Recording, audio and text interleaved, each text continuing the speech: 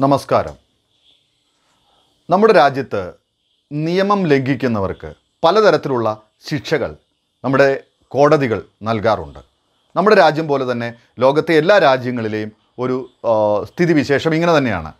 ഏതെങ്കിലും കുറ്റകൃത്യങ്ങളിൽ ഏർപ്പെടുന്നവർക്ക് ആ കുറ്റകൃത്യത്തിന്റെ തോതനുസരിച്ചിട്ടുള്ള ശിക്ഷകൾ നൽകാറുണ്ട്. ഇതിലേറ്റവും കഠിനമായ ശിക്ഷ എന്ന് പറയുന്നത് വധശിക്ഷ തന്നെയാണ്. ഏറ്റവും അപൂർവമായ കുറ്റകൃത്യങ്ങൾക്കാണ് വധശിക്ഷ സാധാരണഗതിയിൽ ഏത് രാജ്യത്തെ കോടതികളും വിധിക്കാറുള്ളത്. നമ്മുടെ രാജ്യത്തെയാണെങ്കിൽ അപൂർവങ്ങളിൽ അപൂർവമായ കേസ് എന്നുള്ള ആ പരിധിയിൽ വരുമ്പോൾ വളരെ അപൂർവമായി മാത്രം വിധിക്കുന്ന ഒരു ശിക്ഷയാണ് വധശിക്ഷ എന്നുള്ളത്.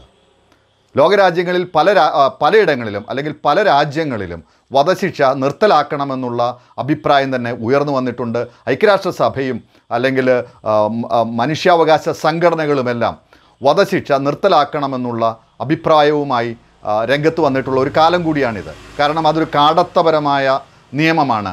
ജീവനെടുക്കുവാൻ നമുക്ക് അവകാശമില്ല. തുടങ്ങിയ കാര്യങ്ങളെല്ലാം മുമ്പോട്ട് വെച്ചുകൊണ്ടാണ് ഈ സംഘടനകൾ പലതും വധശിക്ഷ നിർത്തലാക്കണമെന്നുള്ള ഒരു ആവശ്യം മുമ്പോട്ട് വച്ചിരിക്കുന്നത്. ഏകദേശം ലോകരാജ്യങ്ങളെല്ലാം അല്ലെങ്കിൽ ഐക്യരാഷ്ട്രസഭയും ഈ കാര്യത്തോട് യോജിച്ച് നിൽക്കുന്ന ഒരു രീതിയാണ് ഇപ്പോൾ കണ്ടുവരുന്നത്. എന്നാൽ ഇപ്പോൾ പുറത്തു വരുന്ന വാർത്ത ഒരു രാജ്യം അത് ഏറ്റവും കൂടുതലായിട്ട് വധശിക്ഷയ്ക്ക് വിധിക്കുന്ന ഒരു പ്രവണത കണ്ടുവരുന്നു. വധശിക്ഷയ്ക്ക് വിധിക്കുക മാത്രമല്ല നടപ്പാക്കുകയും ചെയ്തിരിക്കുകയാണ്. ആ രാജ്യം മറ്റ് എവിടെയുമല്ല നമ്മുടെ ഇറാനാണ്. ഇറാനിൽ രണ്ടായിരത്തി ഇരുപത്തിരണ്ട് അതായത് ഈ വർഷം ജനുവരി മുതൽ മാർച്ച് വരെ വധശിക്ഷയ്ക്ക് വിധിക്കപ്പെട്ടത് അല്ലെങ്കിൽ വധിക്കപ്പെട്ടത് ഭരണകൂടത്താൽ വധിക്കപ്പെട്ടത് നൂറ്റി അഞ്ച് പേരാണെന്നാണ് കണക്കുകൾ. ഈ കണക്ക് പുറത്തുവിട്ടിരിക്കുന്നത് ഐക്യരാഷ്ട്രസഭയുടെ സെക്രട്ടറി ജനറലായിരിക്കുന്ന അന്റോണിയോ ഗുട്ടറസ് തന്നെയാണ്. ഏതായാലും ഈ വിഷയത്തിൽ ഇപ്പോൾ ശക്തമായിട്ട് യു എൻ ഇടപെടാനായിട്ട് തീരുമാനിച്ചിരിക്കുകയാണ്. കാരണം ഇതൊരു വലിയ മനുഷ്യാവകാശ ലംഘനമാണ് നടക്കുന്നത്.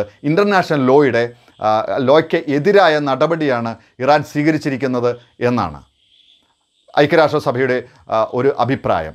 മാത്രമല്ല ഇറാനിൽ ഈ ശിക്ഷയ്ക്ക് വിധിക്കപ്പെടുന്നവർ വലിയ കുറ്റകൃത്യങ്ങൾ ചെയ്ത് അല്ലെങ്കിൽ അപൂർവമായ കുറ്റകൃത്യങ്ങൾ ചെയ്യുന്നവരല്ല.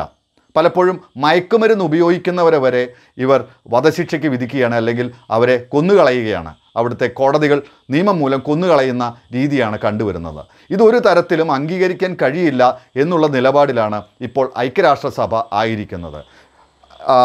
രണ്ടായിരത്തി ഇരുപതിൽ ഇറാനിൽ ഏകദേശം അറുപത് പേരെയാണ് വധശിക്ഷയ്ക്ക് വിധിച്ചത്. ആ വധശിക്ഷകളെല്ലാം നടപ്പാക്കുകയും ചെയ്തു. രണ്ടായിരത്തി ഇരുപത്തൊന്നായപ്പോൾ അത് മുന്നൂറ്റി പത്ത് എന്ന തോതിലേക്ക് ഉയർന്നു. അതായത് മുന്നൂറ്റി പത്ത് പേരെ ഇറാനിലെ കോടതികൾ വധശിക്ഷയ്ക്ക് വിധിക്കുകയും വധശിക്ഷ നടപ്പാക്കുകയും ചെയ്തു. ഇതിൽ പതിനാല് പേർ സ്ത്രീകളായിരുന്നു എന്നുള്ള ഒരു പ്രത്യേകത കൂടിയുണ്ട്.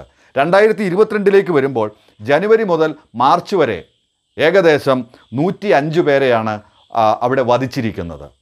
ഇതിന്റെ കുറ്റകൃത്യങ്ങൾ എന്ന് പറയുന്നത് മയക്കുമരുന്ന് കയ്യിൽ വയ്ക്കുക തുടങ്ങിയ കാര്യങ്ങളൊക്കെ ചെയ്യുന്നവരെ അവിടെ വധശിക്ഷയ്ക്ക് വിധിക്കുകയാണ്. മാത്രമല്ല പ്രായപൂർത്തിയാകാത്ത വ്യക്തികളെ വധശിക്ഷയ്ക്ക് വിധിക്കാൻ പാടില്ല എന്നുള്ള ഒരു അന്താരാഷ്ട്ര നിയമമുണ്ട്. അതുപോലും പാലിക്കാതെയാണ് ഇറാനിലെ കോടതികൾ അല്ലെങ്കിൽ ഇറാൻ ഭരണകൂടം അവിടെ വധശിക്ഷ നടപ്പാക്കുന്നത് എന്നാണ് ഐക്യരാഷ്ട്രസഭ പറയുന്നത്. ഏതായാലും ഈ വിഷയത്തിൽ ഇപ്പോൾ ഐക്യരാഷ്ട്രസഭ ഇടപെടാൻ തന്നെ തീരുമാനിച്ചിരിക്കുകയാണ്.